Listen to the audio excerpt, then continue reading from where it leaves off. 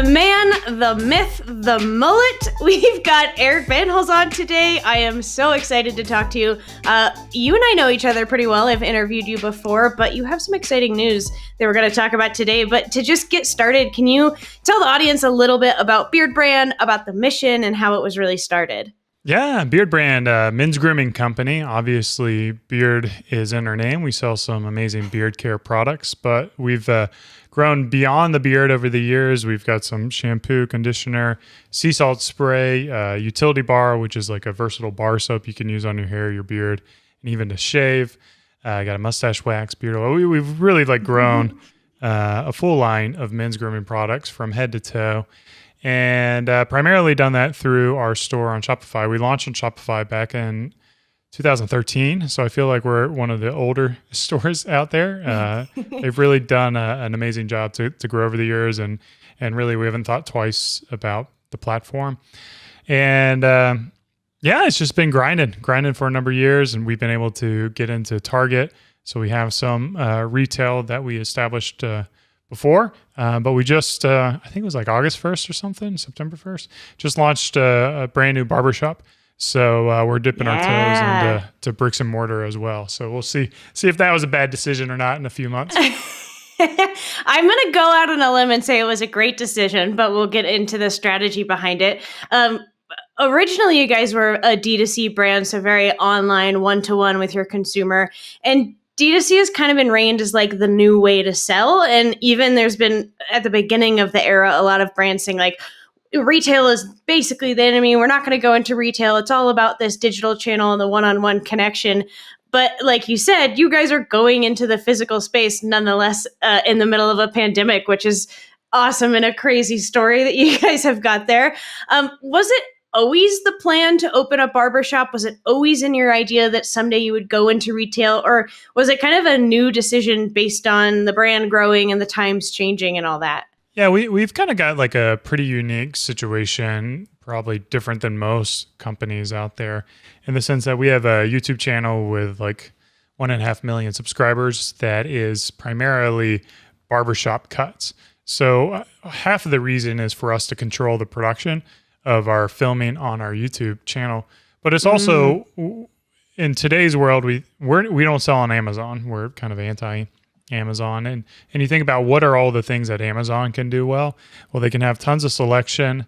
Um, they can have like a, low price and they can have like quick shipping, but they're never going to be able to do like experiential type of things. And for for a number of years, I've wanted to to do that. It's like how can we further enhance our customers' experiences, and you know, giving them what they see on YouTube. Uh, the barbershop experience is is one of those uh, functions. So it's been a number of years that I've wanted to do this, but the challenge with retail and specifically barbershops is it's about the people, it's about the talent, it's about the barbers, and you can't. Uh, barbers aren't you know like beard oils on an assembly line. You can't just you get one barber and they're exactly the same all over. You've got to to really foster a culture that attracts the like-minded barbers who who are talented as well as represent our core values. So it's a very challenging, um, a very challenging thing to uh, to embark upon. And, and, barbers are artists, you know, so they they also like um, they're a little free spirited, and you kind of have to have that kind of that vibe to be able to mesh with them, which I think we have at Beard Brand. Yeah, and, and the cool thing about Beard Brand, um, I mean, for one, you you just took like my biggest punchline. I was like, oh, we got to talk about YouTube, and I was going to drop your subscriber number, oh, uh, which is 1.6 million as of today. Uh, just so you can give yourself an extra pat on the back. Um, but speaking to the barbers, I think that's really interesting, and and with a lot of brick and mortar store owners, finding the right staff is difficult and also really important, especially when you're trying to create an experience, which I think now more than ever, like if someone's going to take the like inherent risk to walk into your store or your physical space, they are kind of taking a risk. So you want to give them a really good experience. What is it, you know, about those people that you look for, especially compared to kind of your, I know what your brand core mission is, but the audience doesn't. So if you want to kind of lay those out and then talk about what you look for in, you know, the retail opportunity or hiring Bob or the way you go about your YouTube videos, how do those kind of core values come around to make this this retail space what it is? Yeah, so uh, really interesting. Um, Bob is uh, kind of like the barber who's leading up the stuff, and um, he had this kind of pathway from uh, uh us working with him just to film and to get on a channel at a different barbershop to uh, him wanting to kind of work independently out of our studio for a period of time while he waited for a school to open up and he was going to take over that barbering school uh, to covid coming and hitting where that was no longer an option. And then us being able to have that option to to pick up the lease in our other building we decided to sign that lease and kind of give bob the freedom to to build out the the barbershop. But because it's a youtube channel uh, because we have like products um, we're able to build it in a way that is maybe we subsidize it if uh, you know we have bad months or something like that. So it's less of like this profit driven uh, type of of channel for us, and more of like you know one giving us control over our um, you know production capabilities and being able to turn off the music and shoot the way we want to shoot or shoot the times we want to shoot or bring in the barbers we want to bring without you know yeah. like asking other shops which was a problem we were running into and then um, also like being able to have all of our products there. Like so if people want to come by the Beard brand office and smell all the different products or get the like the full Beard brand experience. So we've we've we've got our core values of freedom, hunger, and trust. And um, Bob's really kind of free. And then we've we've also done the the same thing with like our relationship with the barbers is uh, really in, in barbering you have two options. They can kind of rent a chair or you can pay them a salary plus a commission or whatever. Um, where it comes into like the freedom side of things, uh, for us, it made sense that they would rent the chair and really own that relationship with their customers. So we're not taking any uh, commission off of you know any uh, things that they're doing or any relationships they've built. Like all their the money that they get from the cuts comes into them, and then they they're able to rent the chair. So I think they've got a lot um, higher opportunity to um, earn, and then we let them like set the prices too. Like this is your relationship with your customer, and if you yeah. if you feel you're worth something, and then it's part of that is going to be educating our customers to let them know that hey, barbers aren't they're not widgets. You know, like every barber's different, and you yeah. can't you can't commoditize you know a human being and i feel like so many barbershops are trying to do that whereas we want to mm-hmm. celebrate the uniqueness of our barbers and what kind of different skills they have um, and then allow them the the freedom and and uh, to set their own prices, set their own style, set their own work, and then uh, you know, of course, hunger, that drive to really serve a customer. And I don't know, man, it's it's pretty exciting. It's pretty exciting. We we wanted to do this for a number of years, so we'll see how. It yeah. Has it been, uh, has the initial kind of wave of it been super fun? Has it been overly stressful? Have you had any like massive revelations or learnings that have kind of come out of it? Well, I'll tell you, I'm very lucky that uh, I've got an amazing team. We, we've been talking about a team a lot in here, and and our team really does live up to our core values. So I handed over the reins to uh, Sylvester, Sylvester, and he's just kind of been managing that relationship with the barbers. Um, and like he's into style. He's into the language. He was actually wanting to be a barber at a period of time in his life. So uh, you know like i don't know like the world just kind of everything seems to fall fall into place uh, when you need it to fall in place. You know what you're saying with the barbers is so cool that you're allowing them to one like live by the core values of freedom hunger and trust and they're able to succeed as well which then brings more customers in because it, it feels good for everybody. And that also means that those barbers are representing the Beard brand brand and they are extensions of your brand. So then the question becomes at some point like we have to go into the conversation about conversion here. How do you start to bridge the gap between this experience and your actual products that the barbers may or may not be using while they're doing these cuts? Yeah, you know, part of part of cutting out of the beard brand barbershop is that, you know, we've got all the beard brand products there and, and we kind of control um, what they carry. Um, we we have a policy like if there's something that Beard Brand doesn't make that we feel like will accent their you know workflow production or something, they can mm-hmm. buy it.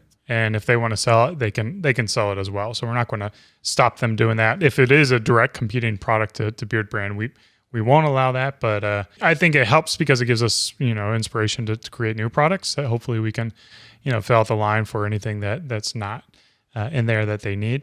Compared to like our online store is very modest, but it is Yeah. fun to see the opportunity there, and also fun to like from a market research perspective understand how barbers interact with their customers and what the potential is. Like if we have an average barber is doing this per month, then if we bring on you know a barber shop, we can expect them to move that kind of products and, and really get a gauge of like what the marketing opportunity is. Um, so there's a lot of you know really good benefits to it for like the bigger picture as we grow and expand. That's actually something I, I was curious about with with your YouTube channel and with bringing in these barbers. You guys invest so much in your own employees and your own customers, but you have this very intense dedication to kind of just the barber community in general. Is that something that you you did on purpose? Is there a strategy behind that that actually informs the brand, informs the way you're growing, or or is that just kind of coming out of a, a place of passion? Yeah, I mean, uh, again, a lot of things just you know, luck seems to find us when we we work hard. so the the whole barbering thing started from uh, when I did a trip out to uh, London to meet up with Carlos, uh, one of our team members, and uh, you were always looking Infamous Carlos. He is just a he's a beautiful specimen of a human being. Yeah, if you, if you ever want to feel insecure about you know anything, just look at Carlos and, and he'll he'll check all the boxes for that. but uh, we- we're always looking for ideas for content, and it's easy to get burnt out, you know, creating content on YouTube. So we're like, let's let's just film our ourselves getting haircuts, and um, so we go. I film Carlos, and Carlos filmed me, and we broke it up into like four videos, like a haircut, a beard trim, and then him a haircut and beard trim. Uh, we learned that it should have been two videos, but you know, hindsight's twenty twenty. we threw them up on uh, YouTube, and those ended up being our best performing videos. And we're like, oh shit, Wow. you know, like we've got something here, so let's do it. So he reached out to the barbershop again. He's like, hey man, can I just film you? And so Carlos started just filming stuff, and and we were able to get to, to get the traction from there. And I knew nothing about barbering. Like I couldn't tell you the difference between like a, a mullet and a fade or a taper, and you know all these things that I've learned over the years Yeah. uh, or like a, a good haircut. I couldn't even tell you the difference between a good haircut and a bad haircut. uh, it took me four years to convince my husband, who has like more beautiful hair than I do. Like he just has a mane of thick, gorgeous hair. took me like four years of dating him to convince him to go anywhere but super cuts. Yeah, yeah. I, think a lot of guys are that way, you know. And I, you know, my personal journey with with barbering was I would go to Supercuts, and I would always walk away with a haircut that I hated, always. And I'm like, why am I paying, you know, ten bucks or fifteen bucks for this? Like, I'm just going to get my own clippers and. brr, You know, shave it down to a one guard or two guard, and then just do that every every couple of weeks. And I did that for a long period of time, you know, where it was like the difference between me cutting at home on the same length guard and going to supercuts was pretty much the same. And then like Yeah. getting into the the channel, you really do realize the difference between a good barber who can do like a, a fade and you're like, wow, that haircut looks amazing. and you just look so much doper uh, with like you spending 20 bucks more for a haircut. And yeah, I mean, for me, I can't, I can't go back. Yeah, uh, you touched on something that that I wanted to ask about, which was um, how much content you guys put out. And I think for a merchant who, you know, for brick and mortar owners right now who have started in brick and mortar, they are being kind of pushed into omni-channel and e-commerce, and they're having to start to enter these channels that, for a lot of them, probably never even thought that they would have to do it. And now it's almost a like a make or break moment for a lot of these retailers. And content marketing, I would assume for a lot of these people is like, uh, like what content? What? Like what? What are you even talking about?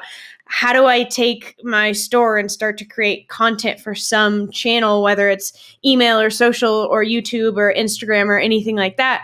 How do you even start to come up with those ideas? I don't know. I, I think um, bricks and mortar um, businesses are at a distinct advantage. You know, like so many uh, online stores, like if you look at their offices, they're either like out of a warehouse and they're fulfilling themselves, and it's like the the nastiest part of town. There's like no visual appeal at all, or Yeah. you know they got some like b class office probably it's probably not like a really cool environment and then like all all their their products are just like displayed in boxes on shelves right you know like there's Yeah. there's there's no like glamour at all. Whereas if you're Yeah. a, a, bricks and mortar, like you've already got the scene established, and like you can film like after hours or before hours on the weekend or, or whenever your downtime is, and like you know get people immersed into your brand and into your company, into like what you guys are about, and then you can just like grab things off the shelves and kind of tell stories around that.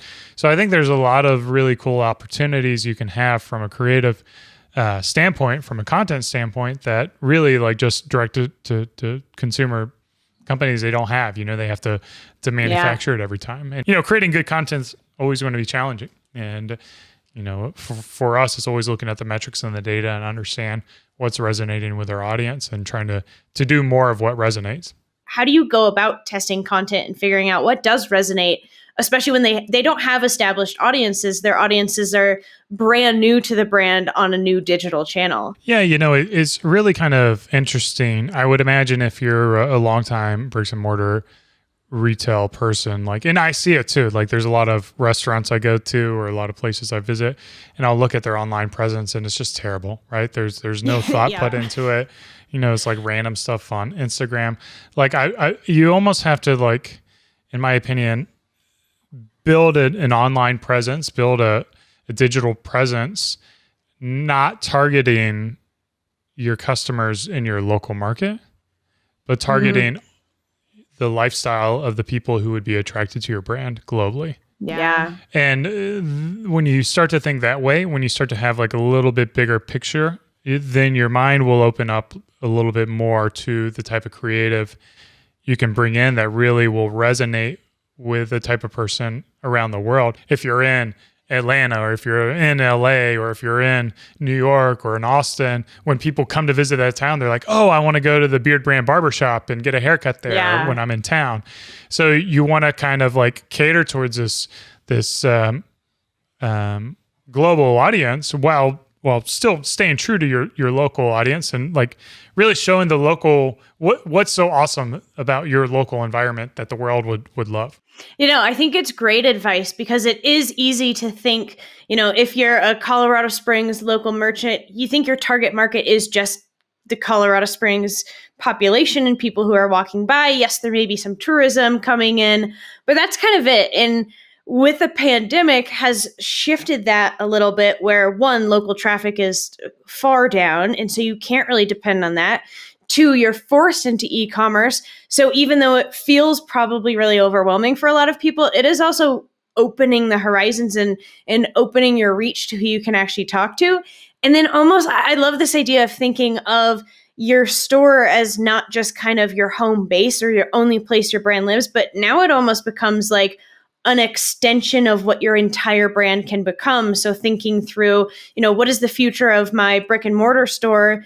It, it actually becomes like a destination for the brand. Like what you're saying, um, Beard Brand, the barbershop is really a destination of the brand. Um, I was going through your Instagram announcement today, and it was crazy to see how many comments were actually from people who were not even in Texas. They were like, oh, we're going to have to make a trip, or like, oh, next time that I'm in Austin, I'm definitely coming by. And to see that as a, a very real example that even though you're local, you can go very wide and it works together in this really like uh, harmonious way because you're learning from your local people and you're learning about the best kind of customer, but then that allows you now to go beyond those people and actually reach a lot of other people. So you have people seeking out your store rather than just kind of walking by and there's a cool sign out front. Well, well, what I what I want to describe it as is you become an accessible celebrity to people who are Mm. passionate about what you're passionate about. So people who are Yeah. really passionate about grooming, like Beard Brand, can become that mecca for them. Like where if they really want to be like super engaged, they come down to the Beard Brand Barbershop. They get to meet all the YouTube personalities they've been watching for years. Like I, so there's a, a, a coffee company that I'm super jazzed about lately. It's called Onyx Coffee Lab and uh, they're out of Arkansas. And it's like if I ever do a, a road trip like back out east, I'm like I'm going to find their location because they've got a coffee shop, and I want to go in Yeah. there, and I just want to like you know like try all the different coffees and meet the people behind it, and you know hopefully I won't be you know disappointed and they're a bunch of like assholes or something like that. but uh, you know I just love everything about what they're doing in terms. They're another Shopify um, Shopify store as well that uh, um, they, they their their store is just amazing. It's just beautiful. So again, like um, companies are doing it. You know, like companies are bridging that gap between online and offline, and um, you know, I think it's really exciting. You know, because um, I don't know, like the the first time you ever get recognized in person from the content you've created is just like a really warming warming feeling. Yeah, I bet. I'm I'm waiting for that day. It'll happen one day. Someone randomly will just pull me into their store and be like, "I know you." Oh, or you know, the, the problem with like podcasts is like they got to know your voice. So you just got to be talking right? all over the place. Yeah, I'll just start walking around with like a megaphone talking about myself. talking about retail, um, like look I, what so, this retail is doing. So I, I want to do a little. Um, I called it on my internal doc a Bandholz challenge, which you just set me up perfectly for. Uh, I think this is what happens when two podcasters talk: is we just we just tee each other up perfectly for our next questions. Um, which is you mentioned it when you start with e-commerce, you have this advantage, um, and we've talked about different advantages and different advantages either way different disadvantages either way. Um, and one big one with e-commerce is that you already have all this data on your customers. So, like you're saying, you're able to go in and segment your customers and say, okay, we actually know who lives in Austin, so we can kind of target them with this messaging. We know who has bought this many products. Uh, we know who's like watched this video on a beard trim and has bought a comb and has maybe texted in asking for some styling advice. So you have all that you can start of you can kind of start to play with with the retail channel and kind of feeding it in. But for people who are going the opposite way, there is a disadvantage there that you don't have that. So you're going to have to kind of build it up through testing channels and doing all the work that all these, you know, D2C brands have already done. So so my challenges for you is to flip your script and say, okay, pretend that Beard Brand actually started as a barbership Oh my goodness. my words today. that would be pretty cool, like a giant boat with a bunch of barbers on oh, it barbership. I like it. So let's say you, actually started Beard Brand as a single barber shop. How would you have actually entered into the digital space? What would you be testing first? Yeah, I mean, I, I think it. There's a lot of similarities. So there, there's products that you'd be carrying in, in the barbershop, and there's actually like a, a whole industry designed to support barbers kind of developing their own products. But I, I, think it is like really telling that story of what makes your barbershop unique like what is the vibe of the mm-hmm. shop like like you want to have um, you know like there there's just like kind of classic independent re- I, I tend to think of restaurants as perfect examples, but I know they're retail as well. Like in Spokane, there's a yeah. place called uh, Atticus and Fitch, uh, Atticus and Finch, and um, they had both coffee and tea and like a little and doodad, you know, like calendars and, and stuff like like coffee mugs, just kind of like trinkets. Yeah. Uh, but they were really like cool, like well collected type of things. And then uh, also there's like um, Stag Provisions down in, on South Congress is this men's store that has like a really cool vibe to it, really cool culture. There's Man Ready as well, kind of in our space, and I feel like you know these these retailers are really doing some innovative things that they just they just need to amplify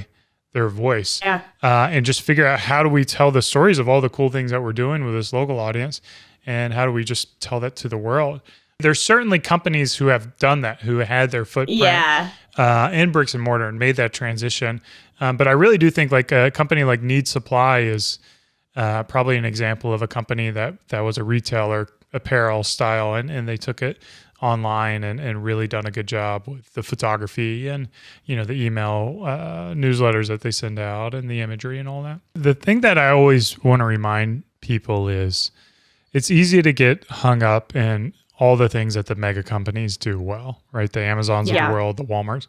You know like t- 20 years ago when when i was growing up um, they always talked about how walmart was putting the little guy out of business I'm like, well, well, Walmart, yeah, they, they do they do great selection, great prices, but there's so many things that they don't do well. Like, you know, if yeah. I want to go in and I want to ask someone like advice on a product, like they're not going to they're not going to do well. And like Walmart sells bikes, yeah. right? But there's bike shops everywhere. Uh, because bike mm-hmm. bike people know stuff about bikes and you want that information and you want that experience and I, I, I think if you're trying to invest in the Walmart business model of like mass selection, low price, you're going to lose. You're going to lose. Yeah. Um, so you have to you have to focus on the things that the the other players can't do, and th- use that to your advantage.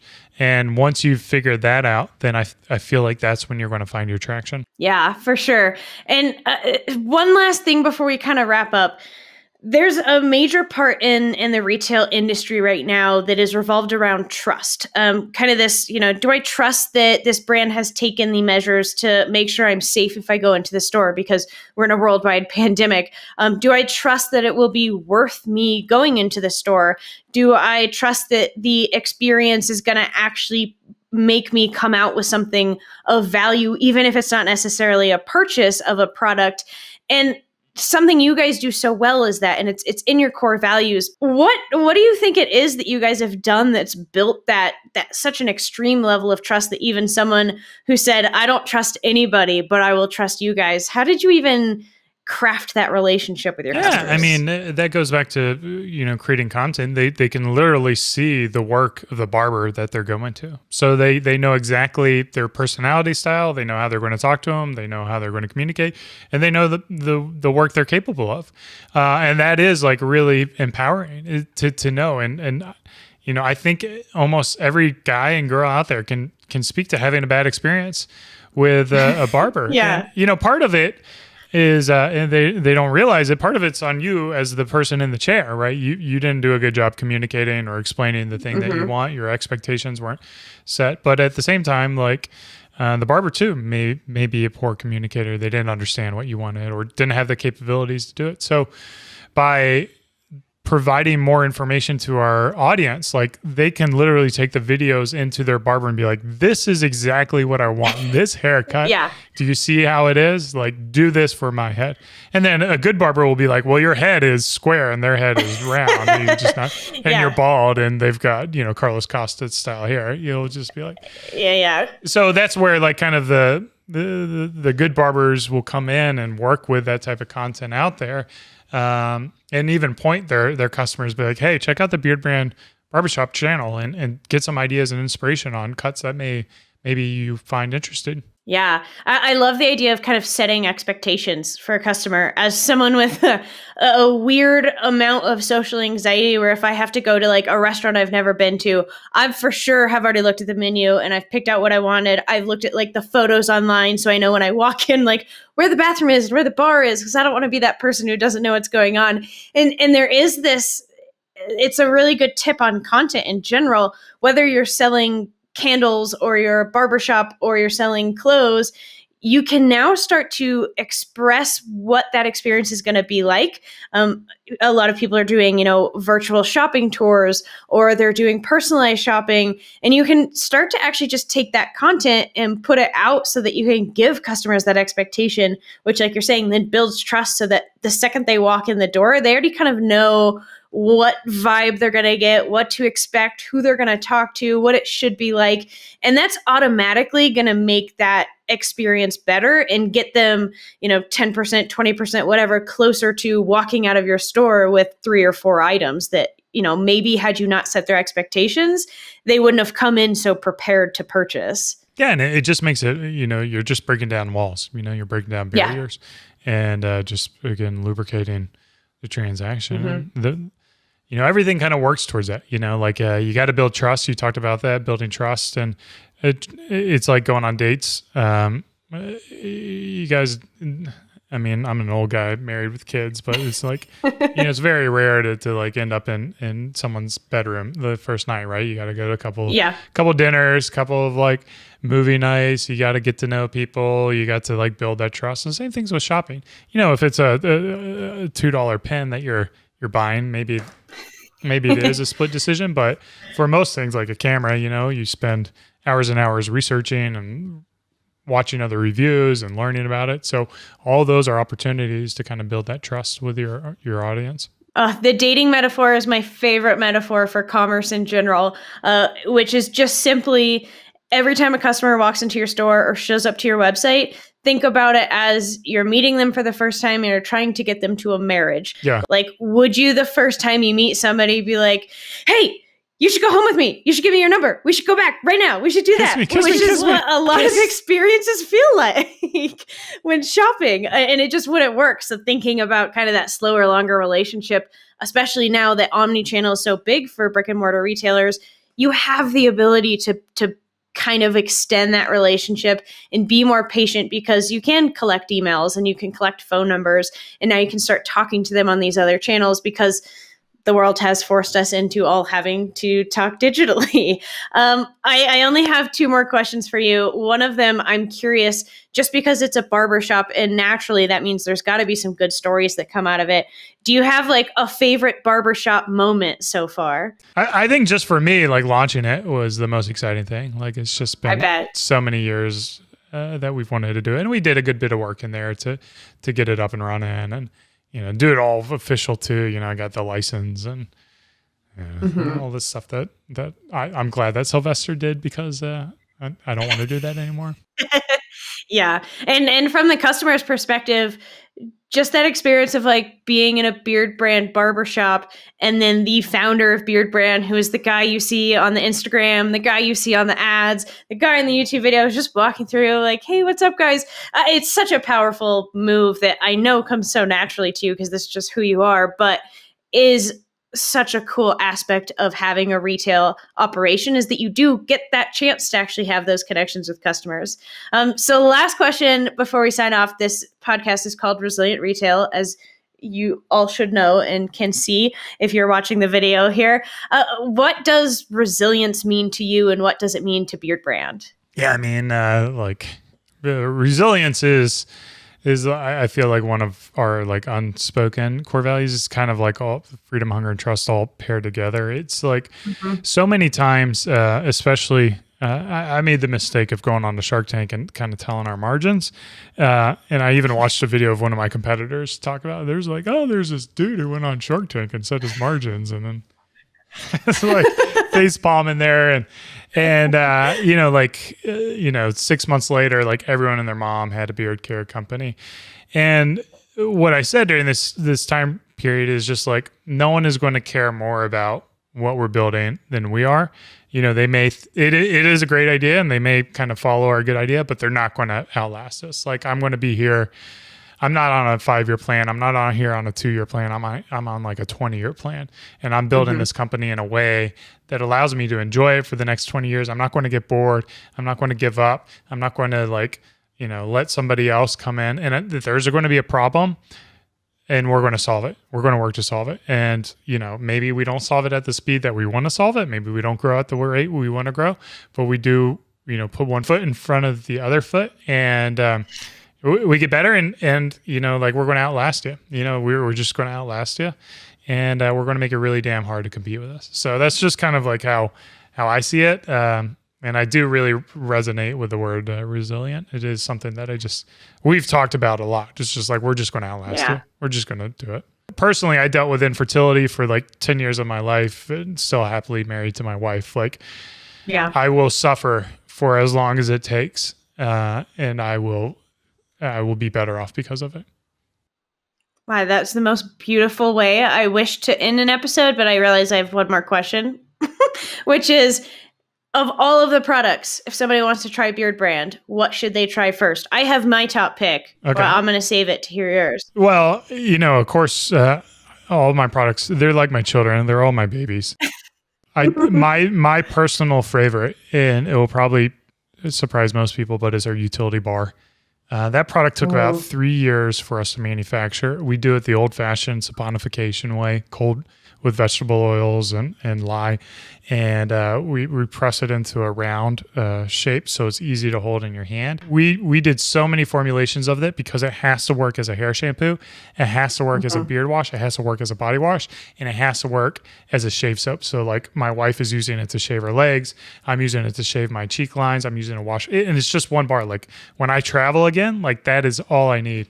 Um, and we got them as three packs now at, at like 21 bucks. And we, they've just been, we've been, Oh, cool. it's been hard to keep them on the shelf uh, since we did that. But what about you? well, I mean, I you've have a- used, uh, I'm, I'm going to guess the sea salt spray, right? Oh, yeah, of course it's the sea salt spray. Guys, the sea salt spray is the best thing that I have found for my hair and my husband's hair, uh, I style his hair now every day because he's like got a he looks like an NHL player in the middle of playoffs, I would say, is really his style right now. So it takes a lot of work. So we use the sea salt spray and the utility balm and the beard oil all together and it works so wonderfully. But yeah, the sea salt spray is amazing because it actually has like what are the it's clay at the bottom, Yeah, right? so you yeah, shake it up and then it actually holds your hair and makes it texturized and makes it actually feel like you went to the beach without being like nasty. I love so I've, it. I've got the sea salt spray and, and our styling balm in here, and that's that's all I got in there. And uh, yeah, I even use it as like an air freshener before the show. I'm like, I didn't want to spruce up the Uh-huh. room a little. It smell nice. So I, I mean, I need again, to get like you a, every a every video product. of my dog reacting to the sea salt spray. Yeah, He's- I remember that. He like rubs around the whole tub because he likes the way it smells so much. Yeah. That was great. That made my day. I shared it with the team. That was awesome. well, thank you so much for being on Resilient Retail. I am so excited about you guys' new venture into retail. We'll be sure to kind of catch up with you later, uh, maybe even bring you back to see how things are going in a couple months. Awesome. Thanks so much for having me.